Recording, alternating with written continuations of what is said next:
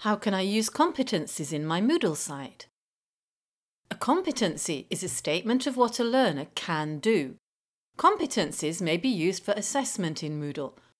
A competency framework is a set of connected competencies.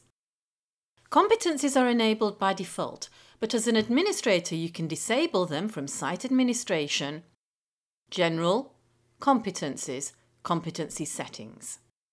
You can manually create a framework from competency frameworks. Here we're making one site wide. To add a framework to a category, you should click the More link from the Edit Category Settings page. Click Add New Competency Framework to create a new one.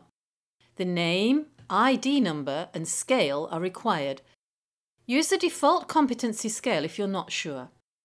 Click Configure Scale and set the defaults to Not Competent. You can now manually type in the competencies.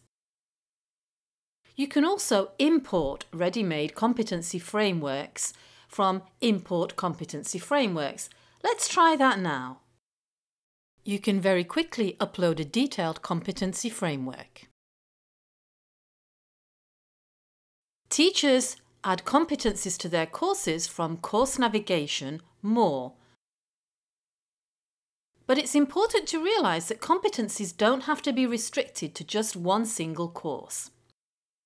Learning plans may be created which contain competencies learners must meet over a number of courses, if you plan to use competencies, it's worth taking the time to read about the roles and capabilities associated with competencies and learning plans. To summarise, competencies define what students can do. Administrators can add competency frameworks. Competencies can be attached to learning plans owned by students. And teachers can add competencies to their courses and activities within their courses.